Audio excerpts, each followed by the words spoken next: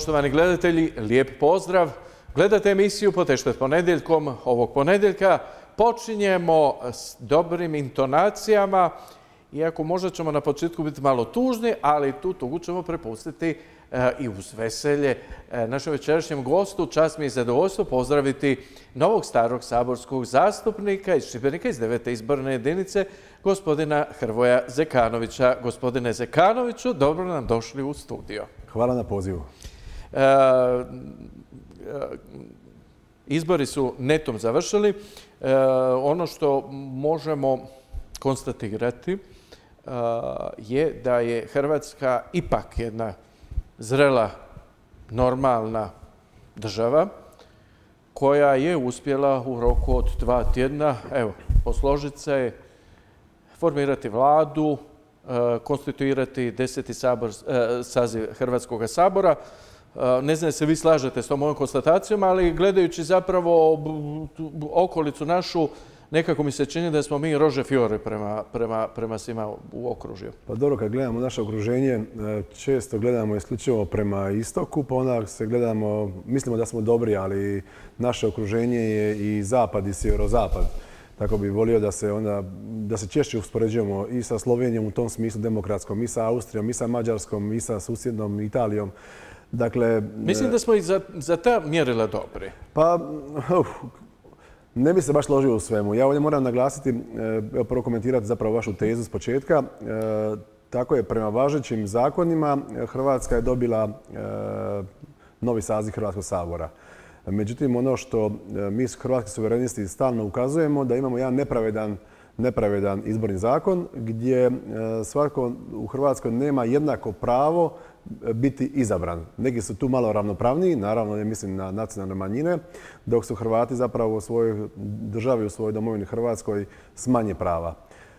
I to je ono što je sporno. Dakle, zakon je, on stvarno vrijedi, on je na snazi, međutim ono što je sporno, sporno je da je zakon nepravedan i da je taj zakon jedan presedan u europskoj zakonodavnoj praksi. Da, može se, evo kad ste već to spomenuli, može se dogoditi da zapravo Europa na neki način e, revidira ili redigira taj, taj ili ga jednostavno stavi van snage upravo zbog toga što je presedan na temelju kojega recimo Njemci mogu tražiti u Italiji da upravljaju, da budu zastupljeni u, parlamentu i da zapravo čine ili utječu na formiranje vlade ili recimo Francuzi u njemačkom parlamentu i tako dalje.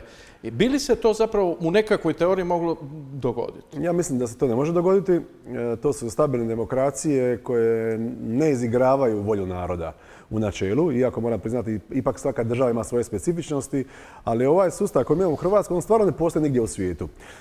S tim da e, ovdje što je najviše sporno, nije e, sporno da nacionalne manjine participiraju u vlasti, jer e, pripadnici nacionalnih manjina mogu biti izabrani na bilo, na bilo kojoj listi, bilo koje stranke. Ja ovdje uvijek moram spomenuti primjer Milanovićeve vlade kada je on imao pola vlade Srba i što je bilo legalno i legitimno. To je bila njegova volja da on stavi pola ministara Srba. Međutim, ovdje imamo, sporno je što se ljudi, pripadnici nacionalne manjine, biraju po posebnom zakonu i onda kao takvi upravljaju s državom. Dakle, ne mislim da bi to bilo moguće napraviti u drugim državama, to su stabilne demokracije, mi smo ipak u tom smislu jedno deset koraka iza njih. A ova situacija trenutno odgovara vladajućima, odgovarali prije, odgovarat će kasnije, tako da će Andrej Plenković i njegova garnitura napraviti sve da izborni zakon kakav imamo potraje što duže. Da, mi ćemo se tome vratiti sad u diskusiji. E, vi ste formirali, to je jedna vijest koja je jako interesantna, bila u samom startu vi ste formirali kao suverenisti vaš klub i onda je, moram iskreno priznati, ovaj nekakav lijevi dio medijskog prostora u Hrvatskoj skoro pa to dočekao sa aplauzom jer je zapravo to prokomentirao kao raspod e, domovinskog pokreta, vaše distanciranje prema škori i tako dalje. Vi ste tu vrlo jasni bili od samog početka, to zapravo ne Dakle, tako. E, lijepo ste primijetili. E, mi smo formirali naš klub, naš je danas četvorica u klubu, to je general Željko Sačić, Marijan Pavliček, Marko Milanović, Litre i ja. Mi smo svi članovi Hrvatskih suverenista političke stranke i sukladno koalicijskom dogovoru, dogovoru između više stranaka, gdje je bio i domovinski pokret, mi smo formirali naš klub. Što je bilo prije najavljeno, dogovoreno i potpisano u konačnici. Tako da to nije sporno. To nije sporno ni gospodinu Škori, nije sporno i nama. A tu nas se otvaraju puno veće mogućnosti rada u Hrvatskom saboru. E, zanimljivo je kako e, formiranje nekoliko klubova unutar vladajućih e, i unutar SDP-a, odnosno te restart koalicije, niko ne komentira. Tamo imamo onaj ženski klub gdje su Puljak, Taritaš Orešković, imamo klub HSS-a, imamo Čačića koji ima svoj klub. Dakle, niti jedan klub nije bio sporan, o ničemu se nije, o niti jednom klubu se nije govorilo. Imamo danas, ako se ne varam, 14 klubova u Hrvatskom saboru ali jedino bio spora klub Hrvatskih suverenista. Što se tiče odnosa sa strankom Domovinski pokret, dakle imamo stranku Domovinski pokret gdje je lider Miroslav Škoro i stranke Hrvatski suverenisti, mi i dalje imamo jedan partnerski odnos, znači koalicija koja je dogovorena za parlamentarne izbore, ona se nastavlja dalje i taj partnerski odnos ćemo mi i dalje njegovati. I to nije e, sporno. da. E, Škoro je e, obraćajući se u Saboru, rekao jednu misao koja je vrlo signifikantna. Mi smo švedski stol. Znači, e, vladajući se mogu počastiti. E, kako to komentirate? Mislim, je li to zaista tako? Je li se zapravo očekuju nekakve žetončići? O njima se jako puno govore. Pa ne znam u kojem kontekstu, nisam čuo tu izjavu gospodina Škore. E, ja se pa parafrazirao, u svakom slučaju... da. on je govorio o žetončićima. Ako govori o žetončićima, jasno je da na što misli, a to da e, nije moralno e, da neko ko je izabran na listi neke stranke s kritikom protiv Andreja Plenkovića pretrčava isključivo radi osobne nekakve koristi. To je, nije legitimno, a s druge strane, ono što ja moram naglasiti, Andrej Plenković je stvarno imao priliku prilikom sastavljanja vlade. Unutar nas osam, znači 84, ako se ne varam, jeli, vamo je 66, 84, i, pogledati ko je tu izabran i pokušati ponuditi koaliciju nekom drugom. Mogao je ponuditi SDP-u, nije. Mogao je ponuditi Mostu, nije. Mogao je ponuditi našoj koaliciji Hrvatski suverenista i pokretu, nije. On je izabrao Eh, SDSS i partnere. Možda je Miroslav Škoro mislio na to. I ja sam u izboru noći odmah rekao na Andreju Plenkoviću je odluka hoće li on pozvati na konstruktivni razgovor Hrvoja Zekanovića i Zlatka Hasanbegovića ili će pozvati Milorada Pupovca. On je pozvao ovog drugog, možda je na to mislio gospodin Škoro. U tom švedskom stolu. Da, no u svakom slučaju eh, vladajući u ovom trenutku imaju 76 ruku. Bez obzira na triumfalizam, to je zapravo jedva ono, dostatna većina koja praktično ovisi svaki put od svim ljudima koji bi trebali biti nazočni u ključnom glasovanju. Dakle, neko ko je strateg, ko vodi vladu, ko želi stabilnu vladu, sigurno ne želi se 76 glasova, nego sigurno želi podebljati te glasove. E, gdje zapravo to podebljanje po vama može nastati? Moram priznati da ga ne vidim. Evo, trenutno ga stvarno ne vidim. Ja mogu jamčiti za suvereniste a evo i za domovinski pokret da tih e, pretrčavanja biti neće. Evo, stvarno ga tako osjećam i mislim. E, ali nije ni bitno. 76 e, je dovoljno. Vidjeli smo evo sad kod konstituiranja Sabora da je Hrebak pod sumnjom da ima koronavirus uspio izvući jedan papir od capaka i s tim papirom sudjelovati na konstituiranju Hrvatskog sabora. Tako da će glasovanje biti vjerojatno rijetko, ja pretpostavljam da će Jan Roković glasovanje obavljati svega jedan put mjesečno ili prema potrebi, kada bude siguran da je svih 76 ruku u Hrvatskom saboru i to tako može funkcionirati. Nemojmo zaboraviti da je u jednom periodu i prošlog mandata e, HDZ imao tek nekoliko ruku više, pa je funkcioniralo. Dakle, to je jedna disciplinirana mašinerija. HDZ-ovci slušaju naloge Jandrokovića i Plenkovića, on će se tamo pojavljivati, a zbog interesa koji imaju to će raditi manjinci i mislim da će to funkcionirati bez obzira što je tijesno. Ako neko bude bolestan i spriječen, jednostavno se neće glasovati. E, ono što sam htio pitati je postoji li bilo kakva mogućnost da vi u nekom trenutku kao suverenisti ili vi osobno podržite vladu? Pa gledajte, e, na ovaj način e, sa Miloradom Pupovcem i u trendnoj instalaciji naravno ne postoji. Ne postoji, ali ja ću reći ono što možda niko nikad nije izrekao iz naše koalicije Hrvatske suvereniste domovinskog pokreta u kamere. Mi smo priželjkivali i nadali se da ćemo konačno, mi kao jedna državotvorna, domoljubna kršćanska opcija, snažna opcija, participirati u vlasti. Ali je ovdje odluka Andreja Plenkovića bila jasna. Njemu ne treba korektiv, odnosno HDZ-u ne treba korektiv u suverenističkom dijelu spektra. Njemu treba netko ko će mu dizati ruke bespogovorno za sve što on napravi, a to je Milorad Pupovac. On je stvarno imao priliku nazvati i mene osobno i Miroslava Škoru i pokušati sjesti s nama za stol i razgovarati, ali to nije pokušao, to mu nije interesu.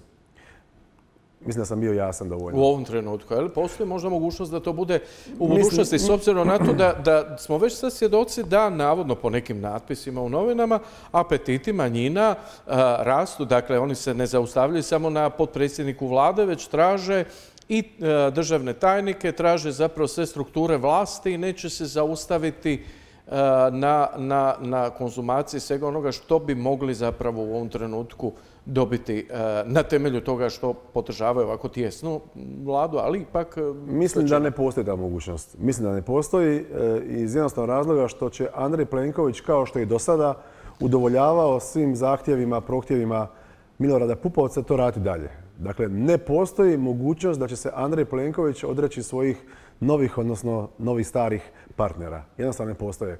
I ja ne bih uopće sada dramatizirao oko tih zahtjeva njihovih, oni, što ljudi ne znaju, mhm. su i prije imali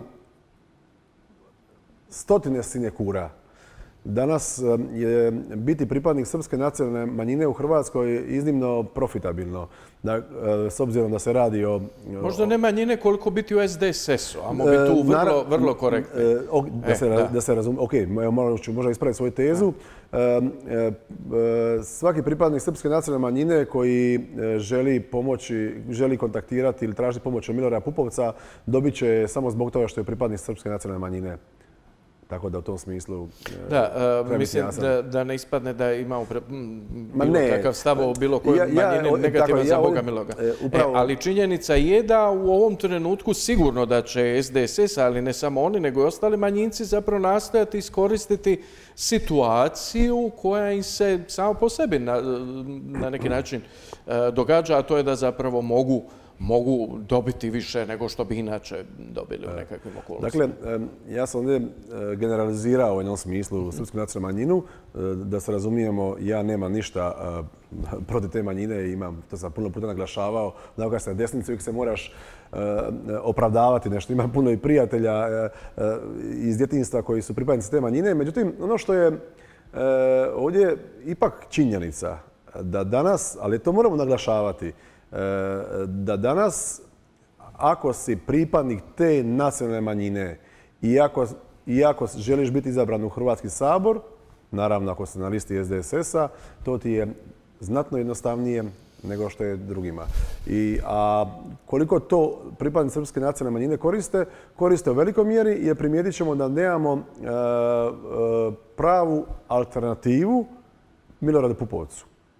To je jako bitno naglasiti. Mi nismo naš, danas, e, ne postoji u Hrvatskoj kvalitetna politička alternativa Miloradu Pupovcu. Odnosno, SDSS i Milorad Pupovac danas zastupa e, starište, stav većine Srba koji znači pripadnika Srpske nacionalne manjine koji izlaze na izbore u Hrvatskoj. Zbog toga se generalizirao. Kad bi mi imali dvije stranke unutar te manjine koje bi bile al pari, gdje bi jedna birala dva, a druga jednog zastupnika, e onda ne bi trebalo generalizirati. Pošto imamo jednu dominantnu, onda možemo slobodno generalizirati. E, idemo se još zadržati na rezultatima e, izbora. E, a rezultate izbora, na neki način ove refleksije rezultata izbora su interesantne zbog toga što se cijelo vrijeme zapravo na neki način ovaj rezultat koji ste vi postigli stavlja u kontekst nekakvog gubitka izbora i tako dalje. Činjenica je da Škoro, desnici, ako tako možemo reći, skupa sa Mostom koji je konzervativan, donosi broj mandata koji zapravo desnica u Saboru nikad od postanka moderne Hrvatske države nije imala. Dakle, e, e, krajnji domet je bio HSP prije 20 godina sa osam mandata. Dakle, to je bio krajnji domet desnice u Hrvatskoj. E, kako to da zapravo se cijelo vrijeme e, vas sada sa 16 plus 8, 24 mandata komentira kao gubitnike, a s druge strane to, su, to, to je revija panagirika prema Možemo, koji je osvojio koliko mi se čini sedam mandata, ali tako? i gdje ja vidim recimo sve kolege koje kada rade izjave za nacionalne televizije s prepadnicima, recimo od Satomašića i tako dalje, doslovno transualno razgovaraju s njima kao da se radi o transcendentalnim pojavama koje su došle iz sazvješća Ra, pa su došle ovdje, to, to, ja neki dan kad sam vidio jednog kolegu na dnevniku ovako razgovara sa Tomaševićem, mislim da je Tomaševiću bilo neugodno. Dajte mi, molim vas, taj komentar, zapravo tih različitih diskursa prema e, činjeničnom stanju koje nije tako. E, prvo, e, vi ste stavili u desnicu znači mandate Hrvatskih suverenista domovinskog pokreta i Mosta. Rekao sam konzervativni okay, okay. Most koji je e, dobro, daleko od toga da nije. E, ja nisam Most nikad čuo, zapravo se, dakle, se deklarirao, sve više više ide u tom smjeru, tako da ajde može biti nekako više centar desno. Prošli mandat to nije bio, ovaj mandat su se malo maknuli u tom smjeru. Iako vidjet ćemo njihov izričaj i u ovom mandatu, evo ja... Da, uvjetno, to, evo, e, ja to željno, željno e. očekujem da vidimo kako će... Ali u svakom slučaju 16 e, mandata je otišlo desnici, da, definitivno. S tim da ja, ono što sam uvijek naglašavao, naglasio bi u ovoj emisiji, ja bi ipak nazivao naše mandate suverenističkim mandatima. Mi smo ipak suverenisti i ta današnja podjela u svijetu je ili liberalno-konzervativno ili suverenistički globalistički. Mi smo konzervativno suverenistička opcija, odnosno pripadamo svi zajedno tome i suverenisti i domovinski pokret. E, što se tiče HDZ, jako bitno naglasiti, e, HDZ, zašto su mi zapravo osvojili tih 24 mandata zajedno? Jer HDZ više ne uzima glasove desnice. HDZ je danas s Andrejom Plenkovićem, s obzirom na broj glasova koje je zagrabio, on je e, otišao značajno lijevo loš rezultat SDP-a je rezultat toga što je HDZ, odnosno konkretno Andrej Plenković, uzeo jako puno glasača SDP-a. Ja osobno poznajem ljude koji su do prošlih izbora glasovali za SDP. Danas glasuju za, za HDZ. I to je zapravo glavni razlog zašto se otvorio prostor u ovom dijelu političkog spektra. E, što se tiče HSP-a i usporedbe s nama, on nije bio jedna stranka desnice, ali mislim da je naša pozicija e, i naš izričaj i, politike koje mi provodimo e, značajno drugačiji i zbog toga je perspektiva puno bolja. A ovaj vaš komentar na kolege sa te radikalne ljevice, Tomaševića, Benčićku i ostale, slažem se. Ja u niti jednom mainstream mediju Nikada nisam doživio kao jedan, reći ću, ajde, u prvom licu, jedan autentični predstavnik pod navodnike desnice, da imam odnos sa novinarima e, kakvi imaju oni. Dakle, e, svi mainstream mediji, večerni list, jutarnji list, imenom i prezimenom, e, RTL, Nova TV, HRT itd. Znači, oni glorificiraju tu opciju, ne znam zbog čega. Zapravo radi se o jednoj ridikuloznoj opciji, pa evo vidjeli ste ovu Pejovićku koja je zapravo prisegnula sa stisnutom šakom na čelu, što je e, ridikulozno i smiješno i opcija koja... Dobro, ali u demokraciji smo, mislim, dozvoljeno. Mislim. tako je, u demokraciji smo i ja e, uzimam sebe za pravo da i u javnom prostoru nazovem tu opciju ridikuloznom. Pa kom pravo, kom krivo. Moji su politički oponenti, ti su ljudi razlog zašto se ja bavim politikom, jer su moji i svjetonazorski i politički antipodi. E, je li oni zapravo uspijevaju na temelju e, toga što se e, Hrvati, dakle, Hrvatsko biračko tijelo okreće ekstremnom, skoro pa ne znam kakvom ljevičarstvu ili je zapravo tajna u totalnoj promašenosti SDP-ove politike u ovom trenutku. I zapravo kako komentirate ovo stanje u SDP-u postizborno i tako dalje. Što će se zapravo s SDP-om događati? Hoće li se uopće održati kao stranka? Mm, kad govorimo o izbornim procesima, političkim procesima u Hrvatskoj, ne smijemo to gledati van procesa, e, globalnih procesa političkih. E, malo pogledajmo evo što se trenutno događa na primjer u Americi, koja je uvijek onaj lakmus papir za sve buduće situacije u svijetu i ona iznimna polarizacija između republikanaca i demokrata. Evo, jučer danas još uvijek bijesne protesti e, Amerike, najviše Seattle i Portland. E, tamo, ko tamo demonstrira danas? Peović i Tomašević. Znači imamo te takozvane antife koje je Trump proglasio zapravo terorističkom organizacijama i oni su, to je taj nekakav val. Znači kao što imamo u Americi danas jednu tu iznimno radikalnu ljevicu, takozvane te antife, E, imamo ih i u Hrvatskoj. Samo što oni u Americi rade kroz političku stranku demokrata, jer kod njih nemamo ovakav sustav politički e, višestranački, nego imamo zapravo dvostranački sustav. A kod nas, pošto je višestranački sustav, oni su uspjeli kroz svoju stranku, možemo doći u Hrvatski sabor. To je još jedna platforma, ako ćemo biti reći, koja je zapravo obučena u, i u zeleni plašt. E, tako da je to je, moramo gledati te trendove svjetske, onda kad gledamo svjetske trendove... Ali što se događa sa SDP-om? E, kako to da SDP zapravo nije zahvatio taj svjetski trend, nego SDP jednostavno propao neku svoju mm. vlastitu... Pa možda isti razlog, HDZ je zagrabio malo SDP-ov prostor, SDP je ostao bez tog prostora. SDP-u je nedostala ta e, jasna, e, jasni lider. To Bernardić nije bio. Ili čak ću se suditi reći, evo nek mi moji glasači zamjere, taj Bernardić nikad nije odgovarao SDP-u jer on je, ja ga i osobno poznajem i svi sam komunicirao više puta u Saboru, on je u sebi e, imao e, natruhe suverenizma. I njegov obiteljski background nije e, kao što je background Arsena Bauka ili Peđe Grbina. On ima te jednu obiteljsku anamnezu koja je, ima, ponovit ću, natruhe suverenizma. I možda zbog toga upravo SDP ga je organski nije mogao probaviti i pokušao ga ispljunuti, izbaciti i konačno su to i uspjeli napraviti. A onda kako se zapravo u ključnom trenutku izjašnjava između Tužmana za Tita? E, između Tužmana i Tita za Tita. Gledajte, ja sam rekao natruhe. Dakle, i on je razlog zašto... Je li zapravo s tom izjavom on zapravo napravio kompromis prema tim strujama u SDP-u? Da, on je pokušao zapravo artikulirati jedan politički stav koji njemu osobno ne leži. I to se osjećalo. Po neverbalnoj komunikaciji se vidjelo da je zapravo e. to odgovor koji je kao da mu je neko... Neko mu napisao, ti odjednom moraš postati e, čovjek koji će govoriti sa nekakvom empatijom. Ti to isto u 2020. tako je, što je zapravo smiješno.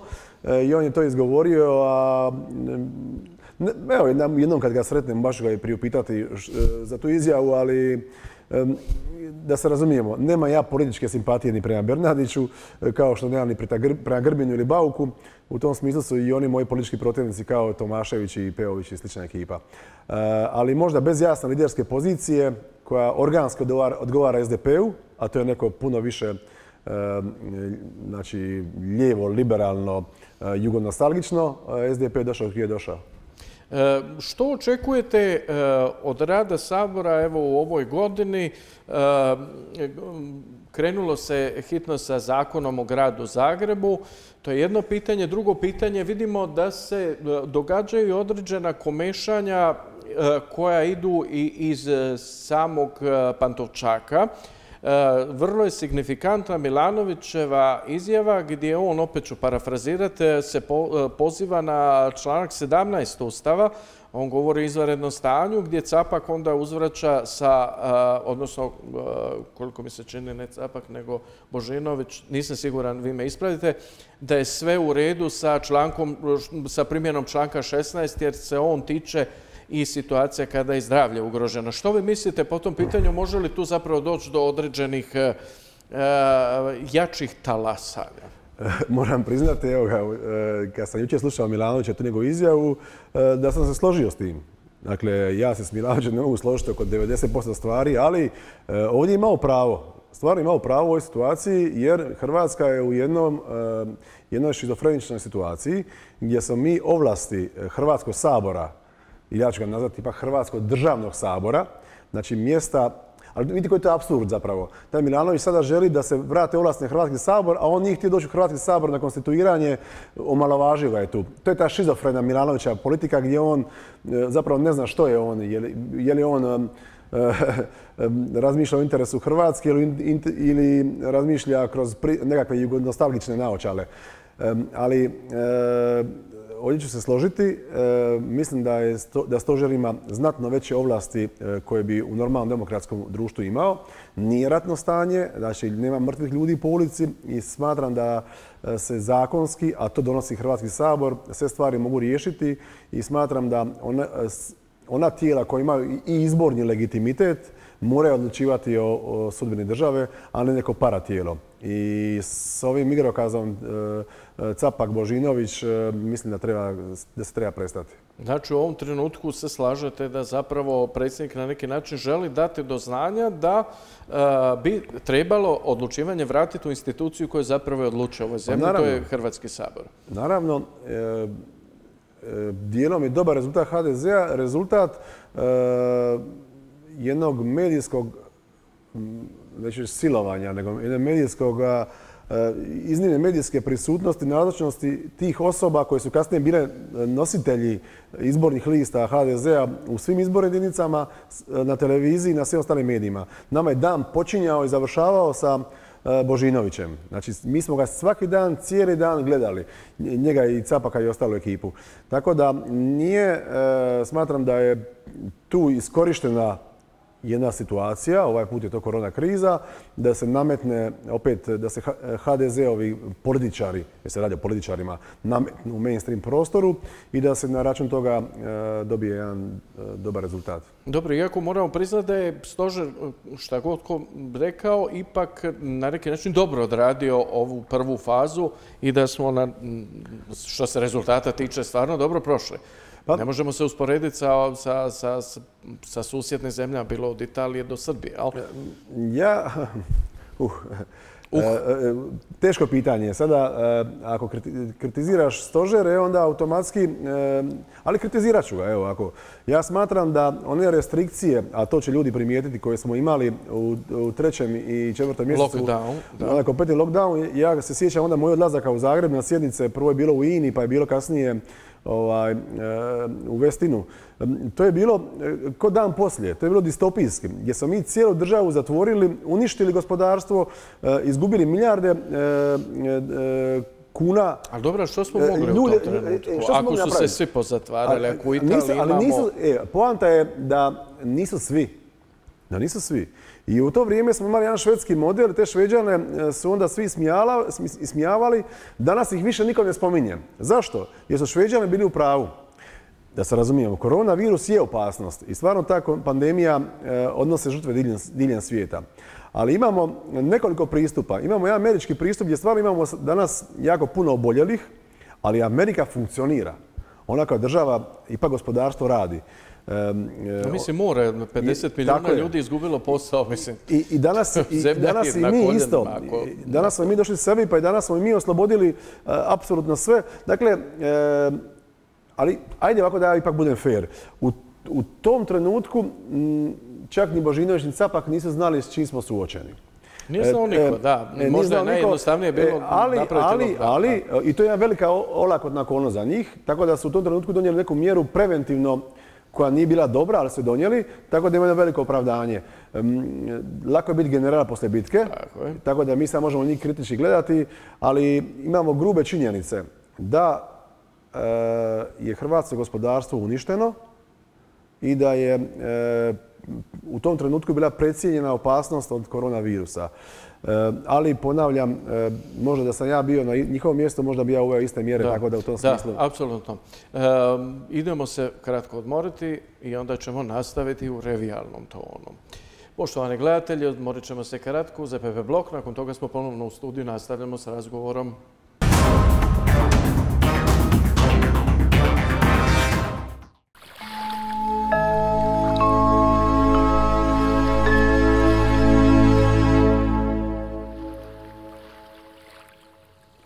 Vrijeme je za nove popuste. Ovaj utorak u Pevexu potraži. 20% popusta na unutarnju keramiku. 15% na gotovu PVC stolariju. I čak 40% na terakota, cvjetna korita i tegle. Pevex. Normalan protok krvi kroz vene odvija se pomoću kontrakcije mišića, a vene su opremljene posebnim zaliscima koji osiguravaju protok krvi samo u jednom smjeru. Bilo koji pritisak ili utjecaj na zaliske poput nošenja tvrde obuće koja izaziva venski stres, dugotrenog sjedenja ili stajanja, prekomjerna težina i slično može dovesti do pojave proširenih vena. Jedan od glavnih uzroka nastanka proširenih vena je korištenje nenamjenske obuće. Iz tog razloga tvrtka Dr. Luigi proizvela je John za amortizaciju venskog stresa, koji spriječava nastanak proširenih vena na donjim ekstremitetima i omogućava nesmeta rad venskih zalisaka pri hodanju i stajanju. Antibakterijski gel s dodatkom aloe vera obogaćen vitaminima A, D i E. Uništava 99,9% virusa i bakterija. Biocidni pripravak u svim ljekarnama.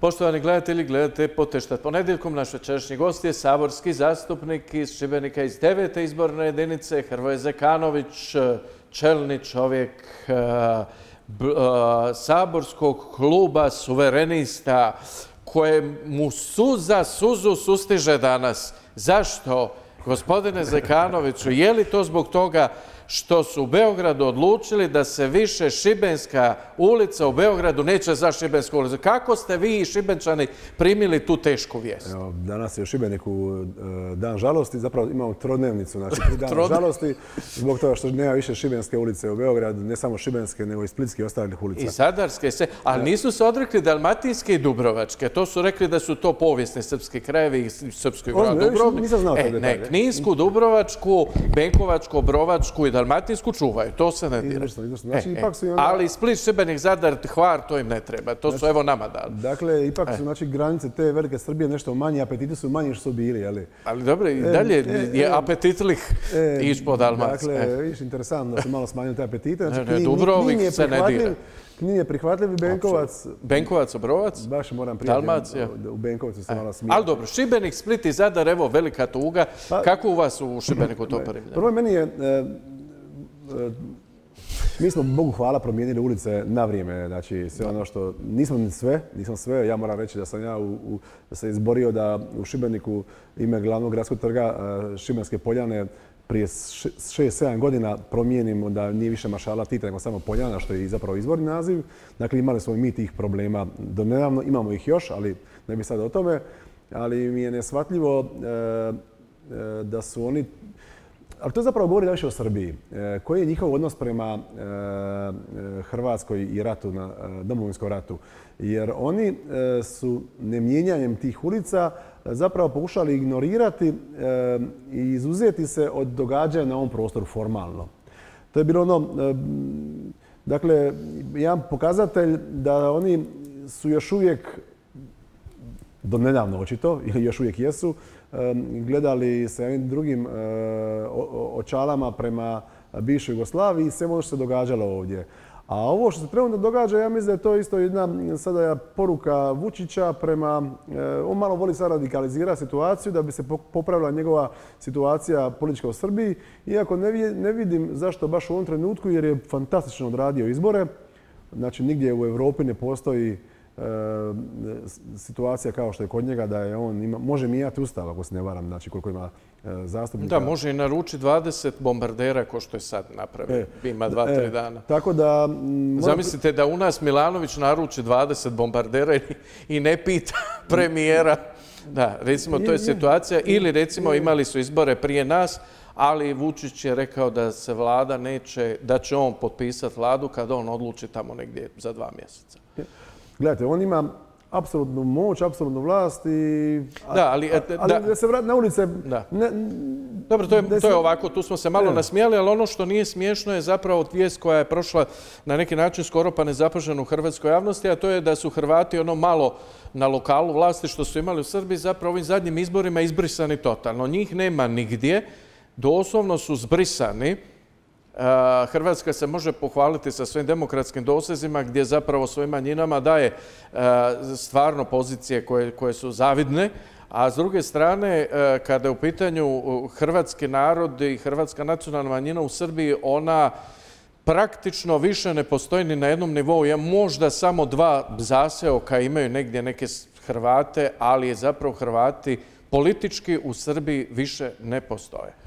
Zamislite suprotnu situaciju od ove koju imamo u Srbiji, e, da imamo ovaj hrvatski model i da i, na primjer, u Srbiji vlada ovisi o hrvatskoj nacionalnoj manjini, o Hrvatima u, Srbiji.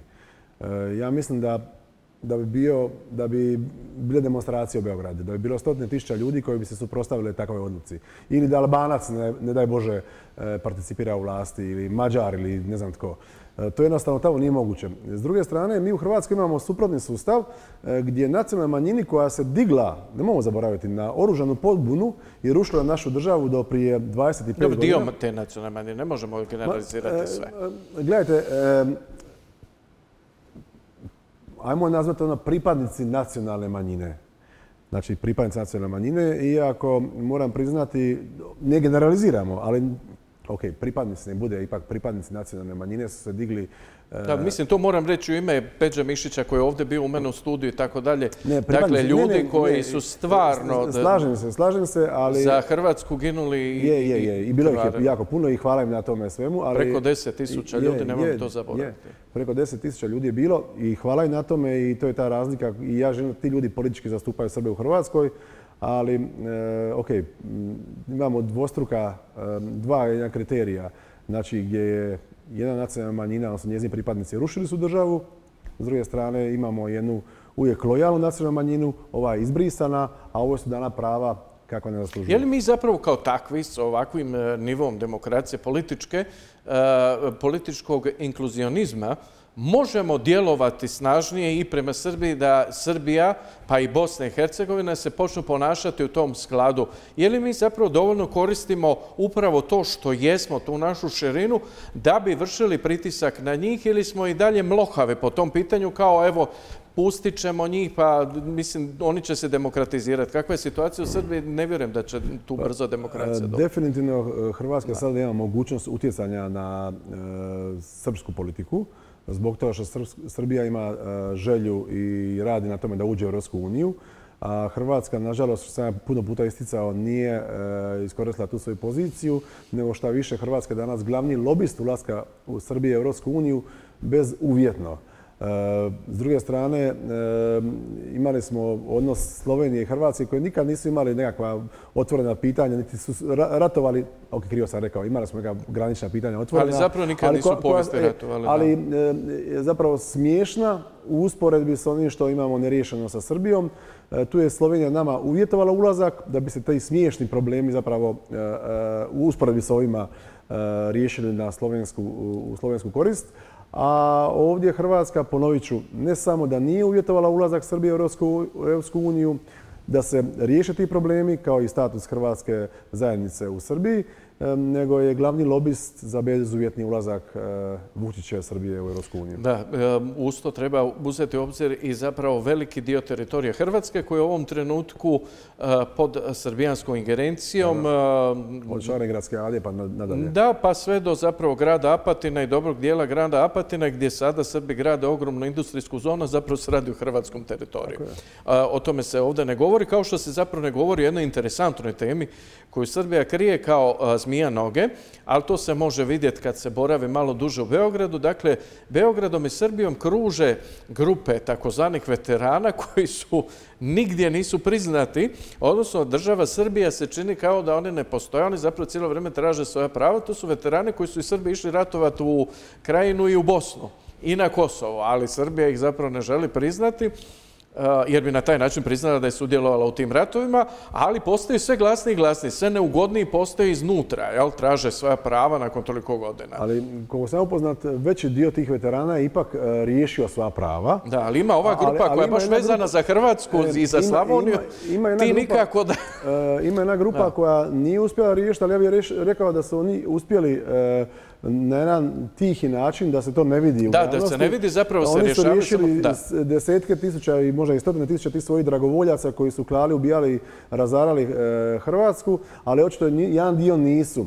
A I onda su tu i tamo vidljivi u javnosti u Srbiji, ali zapravo se vrlo brzo sakriju e, da se ne bi... Možda e. to je jedna skupina sa margine koja sada koristi tu poziciju jer se to ne smije vidjeti, da bi dobili možda veća prava. Ali ponovit ću e, da je Hrvatska država vodi normalnu politiku prema Srbiji. I te kako bi se lijepo moglo vidjeti kome je sve dala mirovine i povlastice i beneficije u proteklom periodu, i vidjelo bi se da tu ima desetke tisuća ljudi koji su živjeli s prebivalištem u Srbiji, a dobili su mirovine jer su u to vrijeme ratovali u Hrvatskoj. Njima ne piše da su oni bili na poligonu u Kragujevcu, nego da su, znači, sve je itekako dokumentirano.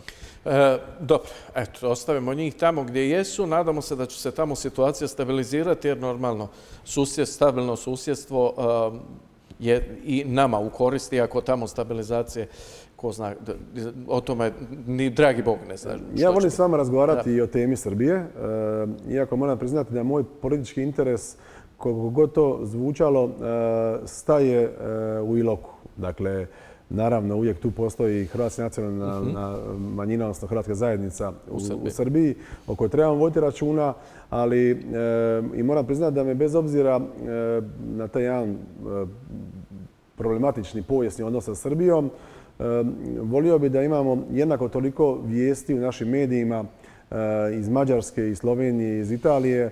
Mi danas, evo, slušam nedavno vijesti HRT-a, eh, pet minuta je govorila je Brnabićka na eh, radiju hrvatskom, njihov glavni epidemiolog se javio, izvješće s terena, razgovori s građanima u par srpskih gradova i to sve u dnevniku u tri sata na hrvatskom radiju.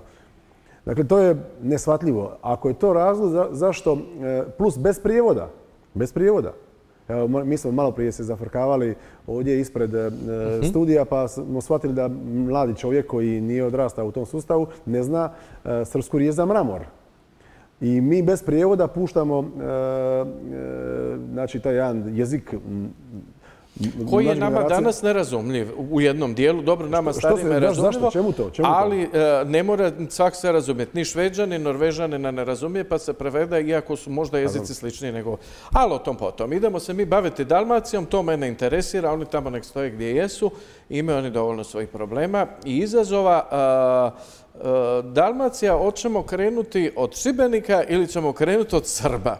27.7. proslava u Srbu. E, dogodila se i jučer. E, to je postala zapravo, to je prije bila državna proslava, ona je sada na neki način kontroverzna e, proslava. Nakon toga česta pitanja i oko te proslave, iza te proslave su upućena Miloradu Pupovcu, hoće li se on ili neko od predstavnika njegove stranke pojaviti na Oluji ove godine. Zašto je to toliko važno? Je li to uopće toliko važno? E, prvo malo vezano uz proslavu Srbu. E, ono što gledatelji, prepostavljam, mnogi znaju, e, na jučerašnji dan 1941. godine je kad zaustavljen vlak sa 300 hodočasnika koji su bili na Svetoj Ani u Kninu, tamo negdje među Drvara i Grahova, a to je jako blizu Srba, gdje je njih 300 pobijeno kod očasnika i ubačeno bačeno u jamu. Od strane, e, ajmo pogoditi koga. Ajmo pogoditi koga. Dakle, neka gledatelji zaključe ko ih je pobio i isti dan, taj dan, e, interesantna koincidencija, e, slavi se kao nekakav dan ustanka u Srbu. Stvar je tu iznimno jasna, znači imamo jedno falsificiranje povijesti i danas se pokušava e, prikazati i taj drugi svjetski rat e, od strane e, te danas ljevice u Hrvatskoj, naravno i srpske nacionalne manjine, onaka kakav nije bio. I to je jedan revizionizam i treba govoriti o istini. Kad govorimo o partizanskom pokretu u Hrvatskoj, e, koji je bio u Dalmaciji naročito snažan. to ne smijemo zaboraviti. Radi se mahom o Hrvatima, Dalmatincima koji su tu sudjelovali i to je ono o čemu se može govoriti. A govoriti o nekakvom srpskom ustanku i napadu na Hrvate kao o povijesnom datumu, mislim da je to danas falsificiranje falsificiranje povijesti. I to, i to priča staje. Da. Oluja, dolazak ili nedolazak Pupovca na, Oluju? Gledajte, to vam je isto ono kad je e, Pupovac prije par e, godina e, otišao u Vukovar i stavio vijenac sam u, Dunav, ali ga je stavio za sve žrtve. To vam je slično kao i kad je Jandroković na moje inzistiranje održao minutu šutnje Praljku, pa je održao minutu šutnje za sve žrtve svijeta i okolice. Dakle, u određenim danima, trenucima obilježavamo određeni događaj. Kad bi se Milorad Pupovac tamo pojavio, ja sam siguran da on ne bi tamo glorificirao i slavio najveličanstveniju pobjedu Hrvatske vojske nad pobunjenicima koji su bili mahom srpske nacionalne manjine i koji su pet godina rušili i razarali našu državu, pokušali je uništiti. Dakle, on ne bi slavio to. On bi tamo došao zbog drugih razloga, a ako dođe, vidjet ćemo zbog kojih razloga, vidjet ćemo njegovu izjavu koja će sigurno biti dvosmislena. On neće onda reći hvala hrvatskim vojnicima na tome što su oslobodili hrvatski kraljevski grad Knin, nego će sigurno njegova poruka biti u drugačije Da, ali interesantno, e, srpski mediji ga strahovito napadaju i ne vole ga. Jako mu zamjeraju to što, po njihovoj verziji, građanski rat, on kao Srbin iz Hrvatske naziva domovinski rat. To im strašno smeta. Ali to nije istina. To, to, ne, pa ja vidio sam u medijima toga proganjaju i prozivaju radi toga da je to sramota. Ne mislim da on to... Da. Ne mislim da to nije istina što ste vi rekli, nego nije istina. On nikada nije izgovorio riječ Domovinski rat. Je tamo. Tamo je Tamo i onda su ga zbog toga su ga razapeli. na križ su ga stavili zato što je kaos. On drznuo reći za domovinski rad da je domovinski rad. Toliko, eto, rekao sam, nećemo se vraćati na njih, ali eto, svako malo izađe. Zašto, zašto me to čudnovato? Strašno mu to zamijera. Jer sam ja stvarno nekoliko puta u Hrvatskom saboru pokušao njega isprovocirati da izgovori domovinski rat. Nikad nije izgovorio. Jako, jako, tako bar oni navode, eto, i to mu zamjere. Morat ću potražiti izjavu, to mi je jako interesantno. Jako interesantno to je strat, nevjerojatna, mislim, neoprostiva. I tako dalje i tako, ali nećemo o tome. E, mi idemo se mi vratiti e, e, u Dalmaciju. Dalmacija, Dalmatinci, punih je sabor, a još punija hrvatska vlada. Puna je hrvatska vlada u ovom trenutku Dalmatinaca. Što mi u Dalmaciji možemo zapravo očekivati u ovim godinama koji su? Koji su to programi? Jer se zapravo vi svi ljudi iz Dalmacije, iz 9. i 10. izborne jedinice, možete u nekim stvarima skupiti na kup i vršiti pritisak i u Saboru i se, pogotovo kada je u pitanju infrastruktura, kada su u pitanju ceste, kada su u pitanju veze s otocima, uvjeti života na otocima, što vi za Dalmaciju možete napraviti? Ja sam jučer došao s Brača, E, više puta sam se pohvalio da mi je supruga Spličanka, evo otac je porijeklom Brača. E, Dalmacija ima probleme koji su e, zajednički, međutim Dalmacija je i heterogena i imate uvijek tu različite zapravo lobije, dubrovački, splitski, zadarski, šibenski, tako da je teško tu pomiriti nekako i te unutrašnje odnose. Međutim, nekakav globalni interes, na vaše pitanje sada i razmišljam zapravo što odgovoriti, je ulaganje značajnije u nekakvu turističku infrastrukturu, jer to je jedan globalni e, interes čitave, e, čitave e, ove, svih sve četiri županije.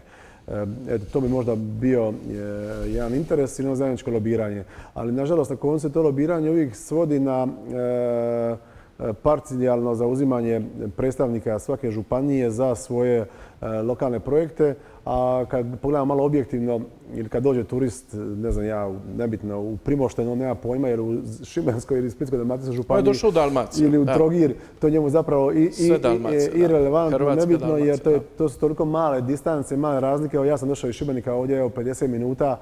U Zagrebu danas puteš 50 minuta od eh, Jaruna do centra tako da su ovdje od vrata do vrata Šibenik, e, centar Šibenika, centar Splita 50 minuta, to je smiješno.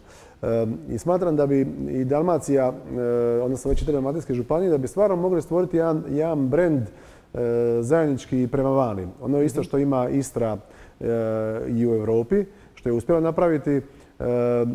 Dalmacija je prepoznat brend i tu bi se moglo ulagati i dalje. Samo trebalo bi e, sjesti sve ove glave zajedno i da se u tom smislu... Malo više dalmatinskog duha i povezanosti. Za kraj e, jedno pitanje. Dakle, evo, gledajući u budućnost, e, domovinski pokret, vi svi skupa zajedno, vaš 16, mislite li da ćete se održati do kraja u tom sastavu? I možda jedan komentar na ovu situaciju koja je bila, iako to nije vezano za vašu stranku direktno, ali ova situacija između Ruže Tomašića i Pauletića. Prvo, možda je ovo drugo pitanje. tu nema nikakvog odnosa među Ruže Tomašić i Pavletića, odnosno nema nikakvih problema jer je stvar zapravo bila jasna. Malo novinarske e, loše interpretacije, stvar je bila dogovorena, pravno i jasna. Možda je gospodin Pavletić u jednom trenutku zbog velike želje da ostvari taj mandat i rekao po neku rečenicu koja nije bila ali ja ne zamjeram nikome. Radi se jednom sjajnom čovjeku. Ja mu želim svu e, sreću na, ovdje na lokalnim izborima e, u Splitu gdje ćemo mi Hrvatski suverenisti podržati zajedničku priču. E, ali stvar je pravno bila jasna i nema tu animoziteta niti zamjerki. Tako je kako je izborni zakon i takav. Ali ovdje moram naglasiti, tu se prozivalo mog kolegu Marka Milanovića Litru da ima iznimno malo glasova. Ja sam malo pogledao preferencijalne glasova, glasove ostalih zastupnika koji su izabrani u Hrvatski sabor. Ima ih nekoliko desetaka koji imaju tek nekoliko glasova ili nešto glasova više od njega. Dakle, i on je tu e, izdvojen kao problem kad se govori o hrvatskim suverenistima, uvijek se pokušavaju naći problemi koji će se potencirati i, i predimenzionirati, a kad se govori o hrvatskoj ljevici, onda će im se nabacivati loptice na volej i glorificirati u medijima. Znači, mislite, u svakom slučaju, to sam vas pitao, hoćete li se održati vas 16 dakle, e, u političkom smislu kao ideja? E, da, ja sam, evo, vjerujem, u ovaj naš politički put. I što ovo je prvo na što ćete napadati? Je li to izborni zakon? Je li to, što, što je ono što... Puno je tema koje kroz četiri godine će biti u fokusu javnosti. E, imat ćemo neke teme koje ćemo pokušati malo i više popularizirati, ali neke teme su jednostavno već nametnute. Jedna od tema, kao što ste lijepo rekli, je izborni zakon. O njemu ćemo kontinuirano govoriti.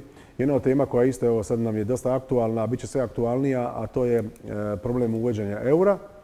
I eto, to će biti, bit će i drugih tema. Dakle, zajedništvo nema alternativu, to je ona priča koju smo mi pričali od uvijek. Hrvatski suverenisti su spremni za zajedništvo. Mhm.